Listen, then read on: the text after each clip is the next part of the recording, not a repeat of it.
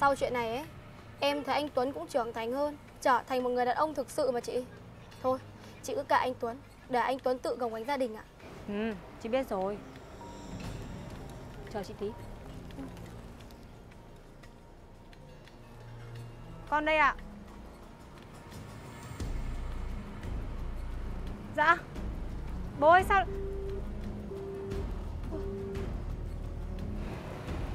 Chị Quỳnh ơi Có chuyện gì thế ạ Bố tao biết tin tao và anh Tuấn quay lại với nhau Đang nổi điên lên rồi cái kìa Chết rồi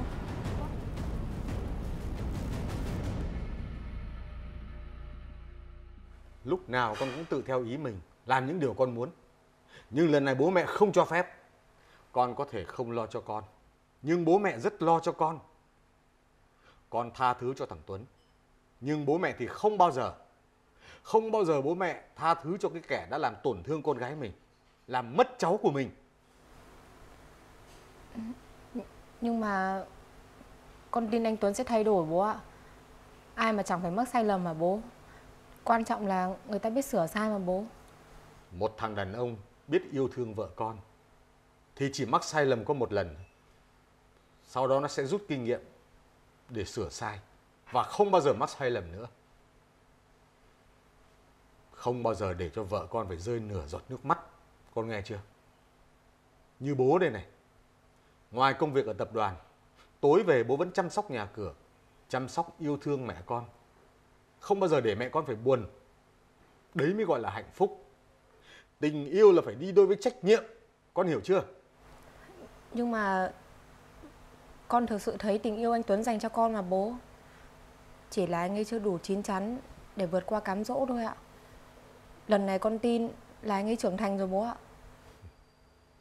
Nếu như lần này nó vẫn chưa trưởng thành, nó vẫn chưa vượt qua được cám dỗ, thì con tính sao?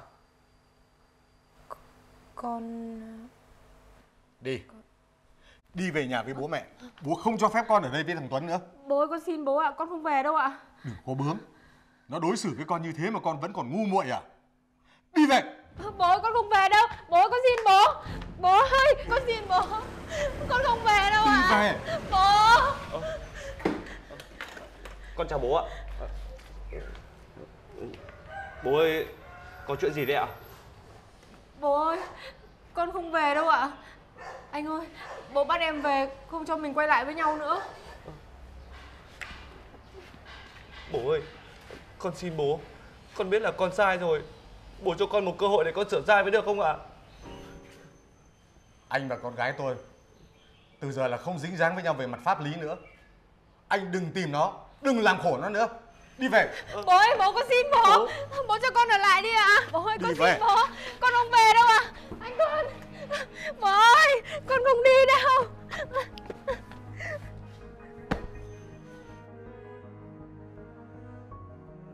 Bố ơi, bố ơi con xin bố. Con biết con sai rồi. Con đang thay đổi rồi. Bố đừng làm thế mà bố. Anh và con gái tôi không dính dáng với nhau nữa. Nhà tôi cũng không chào đón anh. Anh cũng đừng vác mặt đến nhà tôi nữa.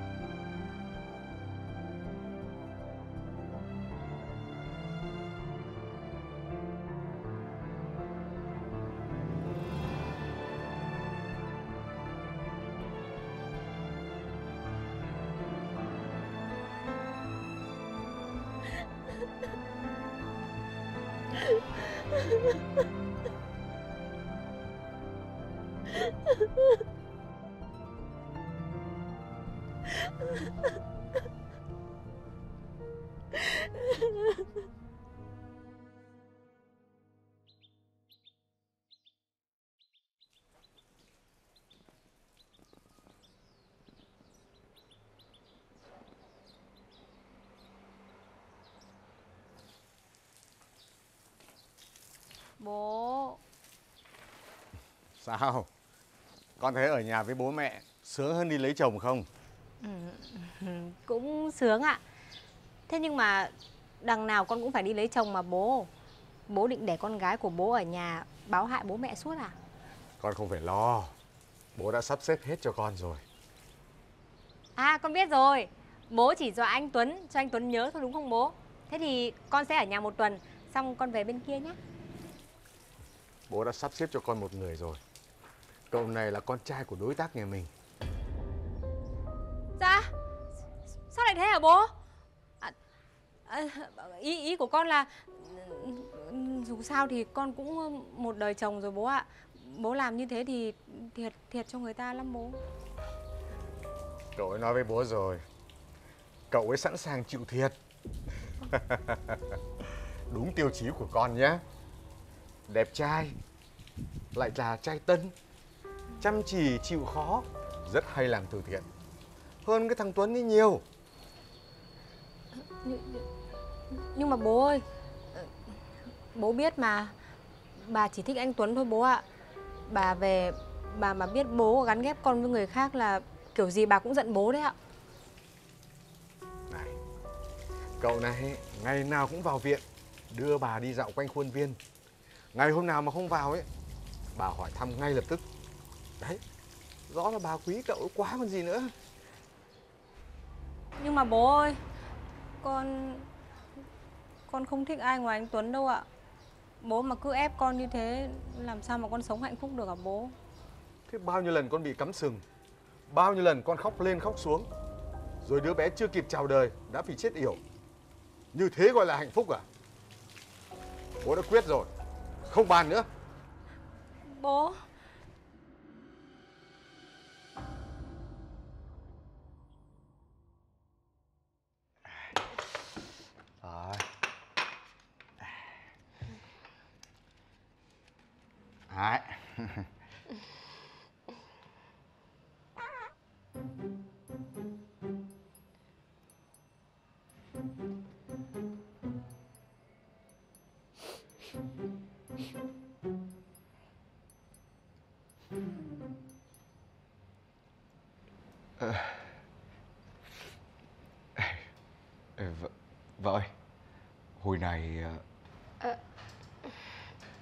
cũng chẳng biết làm sao nữa Hồi này Nó cứ thế ờ, không sao. Đây là cái chuyện rất là bình thường. Bầu bí mình ờ, đầy hơi, đấy. Mình thả bom là chuyện bình thường mà có sao đâu, vợ nhỉ? Nhưng mà Lát nữa nhà mình có khách ấy Em mà lỡ thả bom ra Anh phải nhận hộ em đấy nhá Vợ yên tâm, anh sẽ nhận là của anh. Anh có ngại cái gì đâu. Hồi này là hơi bị quấy mẹ đấy nha. Rất là lắm trò luôn đấy.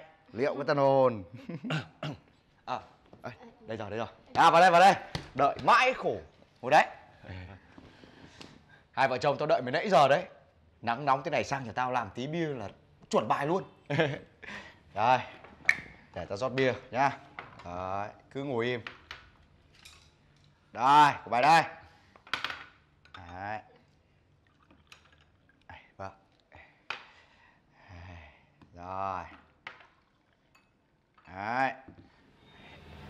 Mà anh Tuấn ơi Chị Quỳnh bị bố chị ấy bắt về nhà rồi Anh định thế nào ạ? Anh cũng không biết nữa. Anh mà là bố Quỳnh, anh cũng sẽ làm vậy thôi. Thôi được rồi, bỏ qua đi đã. Đến đâu tính đến đấy. Uống đi. Ôi. Uống đi.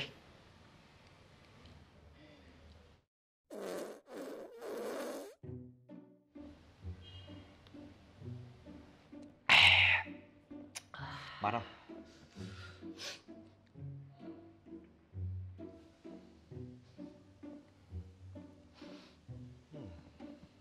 À, ôi, tao, tao, tao, tao đấy.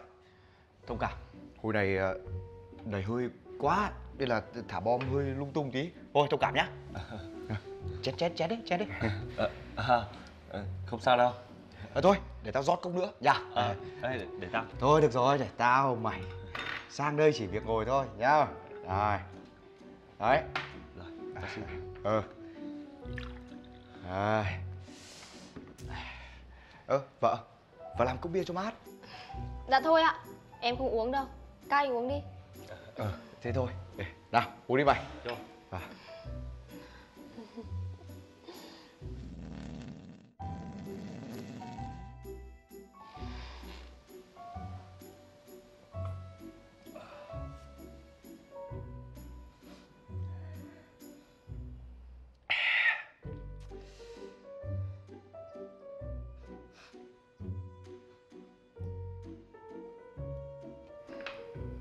hả vợ? Ờ, tao Tao đấy Vẫn tao Ôi, đầy bụng mà Nhiều khi cứ tưởng là hỏng van Thôi, ờ, ăn đi, u- uống đi Hỏng van à? Uống thêm tí men tiêu hóa vào là đỡ thôi mà. U- Uống uống đi. Rồi, ờ, để, để, để tao rót Ra, mày ăn đi, ăn tự nhiên đi Vợ ăn đi vợ Mời nhá. Rồi, ta xin. Ờ. Mà cái chỗ công việc của mày thế nào rồi? Làm trái ngành. Thế nhưng mà cố chắc vẫn được. Thôi được rồi, uống đi Cố gắng nhá. Ừ.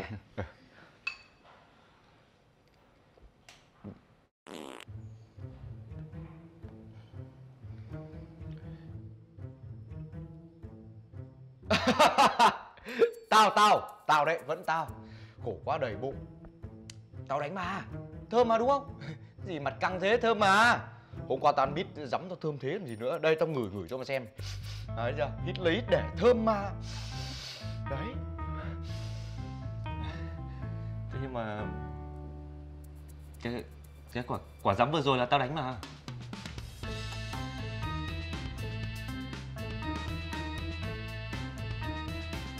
Anh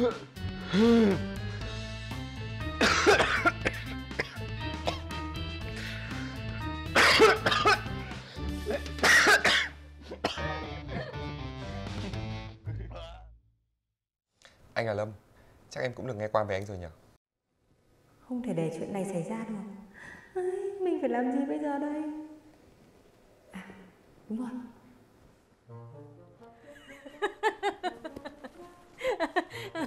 Vâng ạ. Anh Lâm ngồi chơi nha em bà lấy nước em mời anh. Chờ em tí.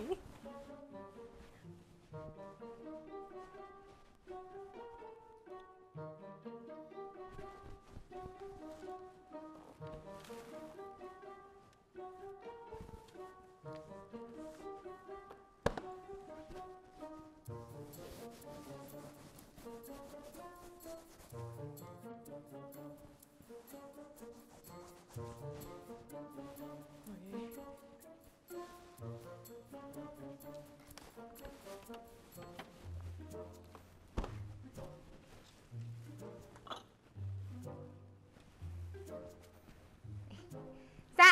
em mời anh Lâm uống nước.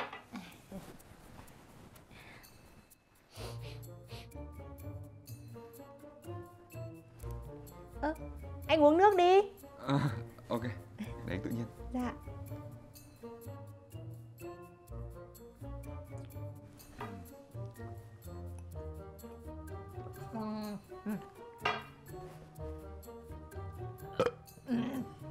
Ôi, ôi, Nước nhà em yêu kiềm anh ạ Cực kỳ tốt cho sức khỏe luôn Anh uống nữa không? Em lấy À thôi thôi, anh anh không uống nữa. Thôi. Thôi Này, em bảo À. Thế em nghe bố mẹ em bảo là Anh sẵn sàng bỏ qua hết quá khứ của em Có đúng không?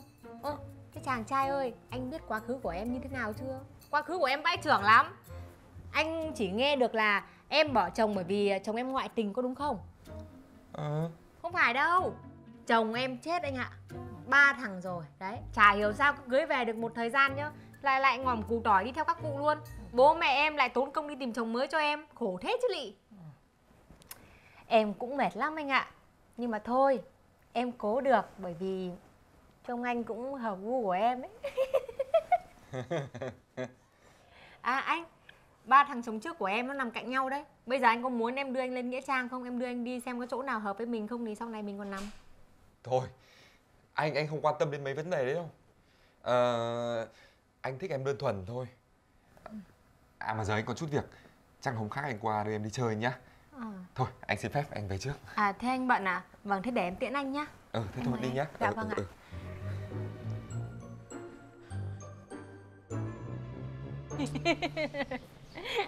Anh này, hôm nào bố mẹ em ở nhà thì anh qua nhà em ăn cơm nhá Ờ, ok, rồi anh về đây, chào Quỳnh nhá. Em chào anh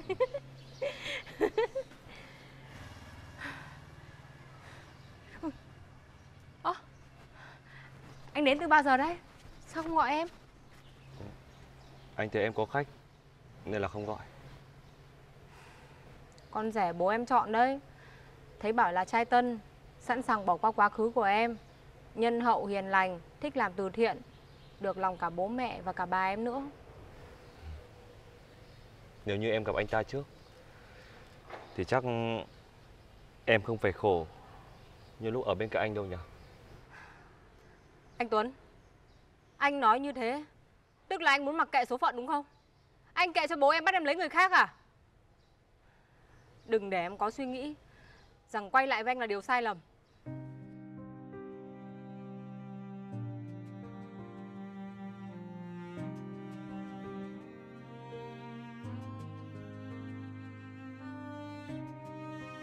Anh Tuấn, Anh nói như thế, Tức là anh muốn mặc kệ số phận đúng không?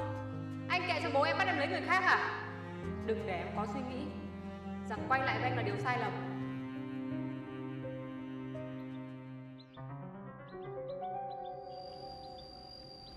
Khôn hồn thì ngậm cái miệng lại. Hỏng việc của tao ấy Tao đánh cho thì lại bảo tao ác Anh vì tiền mà bỏ em bỏ con. Anh không sợ quả báo à? Quả báo là gì? Là tao sẽ được làm rể nhà giàu. Cả công ty nhà đó sẽ là của tao Mày có biết nhà con Quỳnh giàu như nào không? Tiền tiêu mấy đời không hết đấy. Khôn hồn thì ngậm cái mồm lại. Thỉnh thoảng tao cho ít tiền mà tiêu. Còn không Tao cho một cái run đấy. Lúc đấy thì đừng có trách. Lo mà giải quyết sớm đi. Em không bỏ con đâu. Em sẽ sinh nó ra và em tự nuôi nó. Mẹ con này Mày ương thế nhỉ Bàn tay của đàn ông là để kiếm tiền Chứ ai lại kiếm chuyện với phụ nữ là mày à? Câu chuyện tao vừa nghe được từ mày Cũng làm tao khá bất ngờ đấy. Các cụ có câu, Nhìn mặt mà bắt hình rong. Thế nhưng mà tao thấy câu đấy chẳng đúng với mày tẹo nào cả. Nhìn mặt mày thì lương thiện, Thế nhưng mà ở đằng sau, Ẩn chứa cả một âm mưu độc ác. Mày suy nghĩ lại đi, Đừng làm cái trò hèn hạ như thế nữa.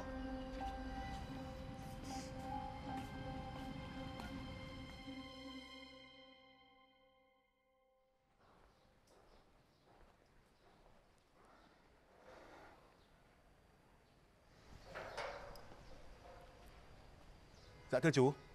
Chú còn điều gì lăn tăn ạ? Theo cậu, với số tiền này có đủ để thằng ấy nó rời khỏi con gái tôi không? Dạ. Theo những gì cháu điều tra được về cậu Tuấn Thì hiện tại cậu ấy đang rất khó khăn ạ. Cậu ta đang nung nấu ý định khởi nghiệp. Có số tiền này sẽ giúp cậu ta bước đầu gây dựng sự nghiệp. Cháu nghĩ là chắc cậu ta sẽ nhận tiền để rời xa Quỳnh thôi ạ. Rồi, đi thôi.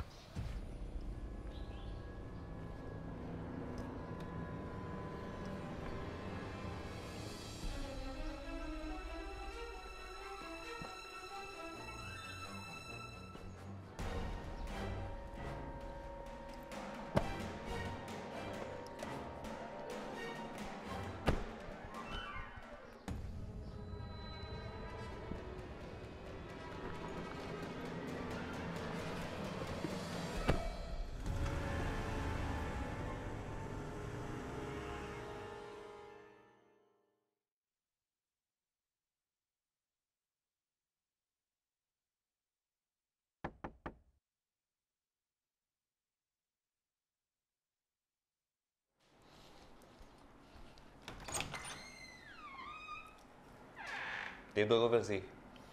Tôi đến về việc của Quỳnh.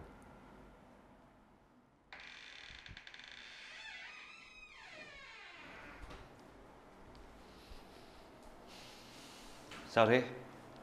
Có việc gì? Thì cho tôi xin cốc nước đã. Ông có vẻ ghét tôi nhỉ?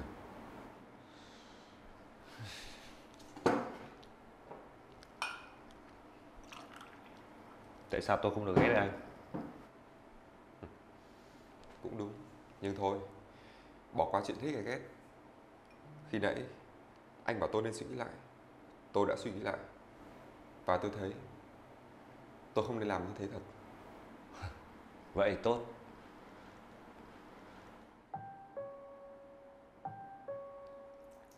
Ui Thôi chết rồi. Cho tôi xí giấy khô. Đợi tí.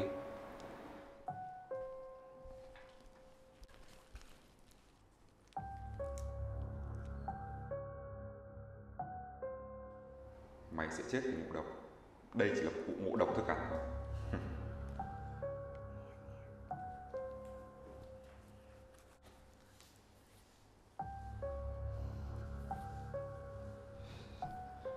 Suy nghĩ thấu đáo rồi thì tốt. Tôi thấy anh nên chăm sóc cho người yêu mình. Cô bé ấy yêu anh nhiều đấy. Đương nhiên rồi. Thôi, ông ăn đi kẻo nguội. Tôi có việc tôi xin phép về trước.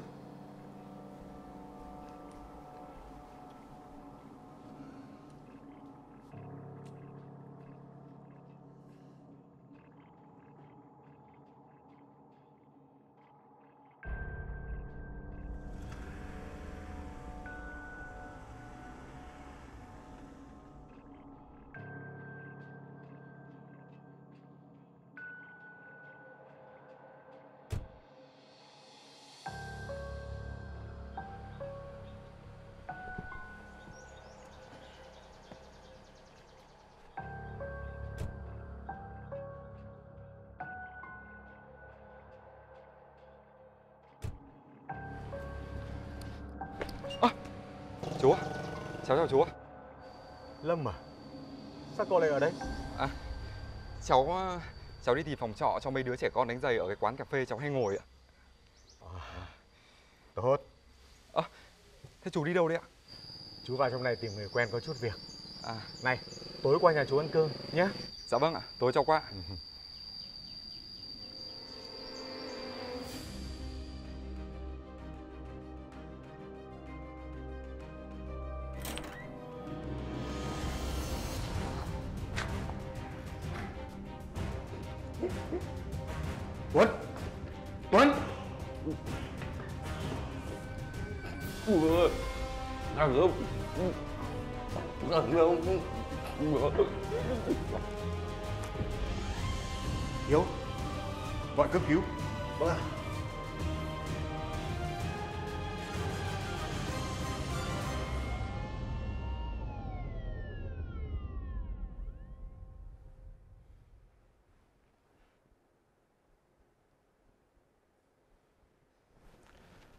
Cậu tỉnh rồi à?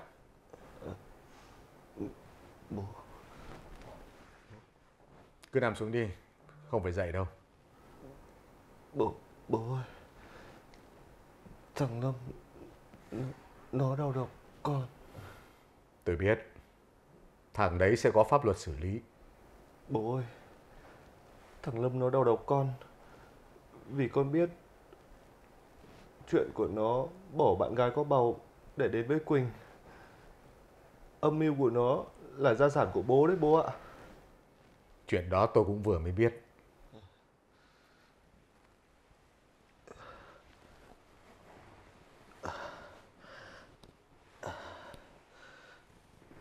Bố ơi Bố tha lỗi cho con với.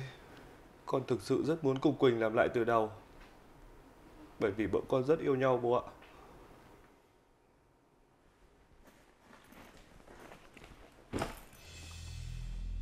Đây là 3 tỷ. Tôi biết cậu rất cần số tiền này để khởi nghiệp. Báo ước mơ hoài bão của cậu. Nếu có số tiền này, rất có khả năng biến thành sự thật đấy. Bố Con không lấy đâu ạ Bố muốn con lấy số tiền này để rời xa Quỳnh Con không cần số tiền này Con chỉ cần Quỳnh thôi ạ Bố, anh Tuấn, anh có sao không? Chú ạ. Anh không sao May mà có bố đến kịp Bố Anh Tuấn suýt chết oan vì nhà mình đấy à Bố thấy chưa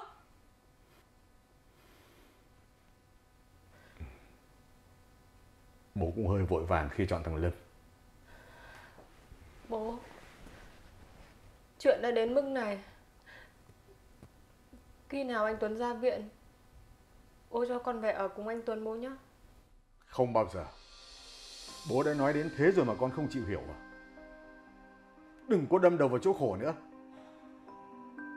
Còn nếu con cố ý làm trái, thì từ giờ trở đi không có bố con gì nữa. Vâng Tùy bố ạ Quỳnh Quỳnh, Bố ơi Con xin lỗi bố. Con sẽ khuyên Quỳnh ạ. Kệ nó. Còn với cái. Bướng thế gì này. Chào chú. Chào bố ạ. Này. Mày thấy trong người sao rồi? Mà. Thế nhưng mà vui. Cái thằng điên Vừa bị đầu độc xong lại vui là sao? Thì vui Vì ờ, Bố tao nhận ra được bộ mặt thật của thằng kia. Anh Tuấn ơi Để em bắt cho anh cốc nước cam nhé. Cho anh xin cốc. Vâng ạ. Ngồi đây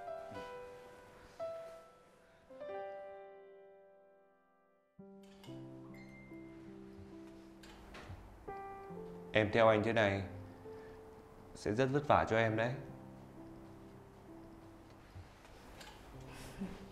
Anh không phải lo đâu. Bố chỉ làm thế để cho em sợ thôi Chứ bố thương em mà. Với lại nhà bị bố tịch thu rồi Nhưng mà thẻ thì em vẫn còn Thoải mái mà chi tiêu.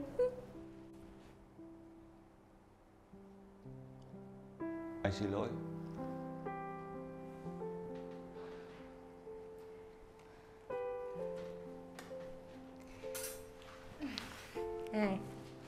Biết lỗi rồi Thì sau này phải thật tốt với em đấy. Nhớ chưa? Anh nhớ rồi. Anh mà không nhớ Thì anh không là con người nữa. À để em gọi mua ít đồ điện máy cho người ta ship đến. Ở đây thiếu nhiều đồ của anh ạ. Em gọi đi. Của anh chị gồm một tủ lạnh 4 cánh này, một máy giặt sấy và một tivi 75 inch.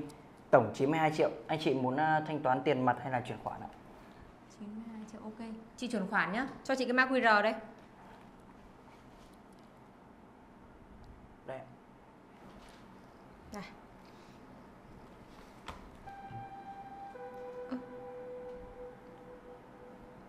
À, đây, chị dùng thẻ khác. Cho chị quét lại này?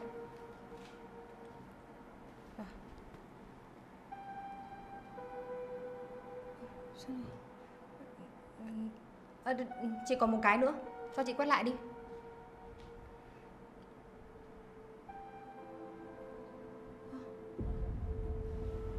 Bị khóa hết rồi. Bố em làm thật anh ạ. Ờ, chị ơi, thế còn à, chỗ hàng này... Mình xin lỗi vì đã làm phiền mọi người. Bạn em về hộ mình với nhá. Dạ vâng, à, không sao đâu anh chị ạ.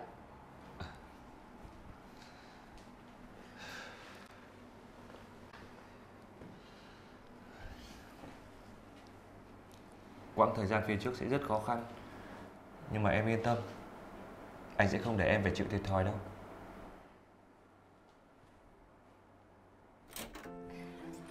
Xin chào anh chị ạ. Xin chào. Đây Chúc mừng cô dâu chú rể nhá. Rồi rồi chúc mừng. Vợ chồng mày làm cái gì đấy? Hai vợ chồng em mang quà sang để tặng anh chị đấy ạ. Từ hôm nay hai người sẽ bắt đầu cuộc sống mới. Thì có khác gì là tân hôn đâu ạ Cầu kỳ quá. Hai vợ chồng ở lại ăn cơm với nhà em luôn nhá. Thôi không phải cơm cháo gì đâu. Anh này Bạn đến nhà thì phải mời cơm chứ. Anh ở nhà tiếp bạn nhá Em đi chợ. Thôi ờ, Để anh đi cho. Anh đi nhanh nhá. Tao đi nhá.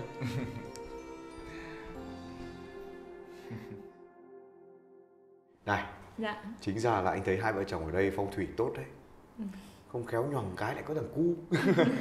Bọn em cũng từ từ anh ạ. Chưa đâu vào đâu cả. Để đái gì anh? Mà chị Quỳnh ơi Anh Tuấn đi cũng phải một tiếng rồi đấy. Sao lâu thế nhở? Ờ, Quên mất đấy để chị gọi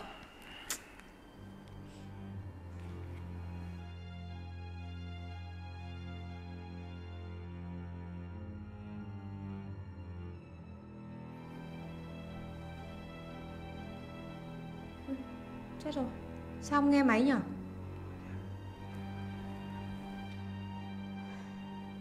Hay nó bị làm sao nhỉ? Để anh đi tìm nó nhé. Em đi cùng ạ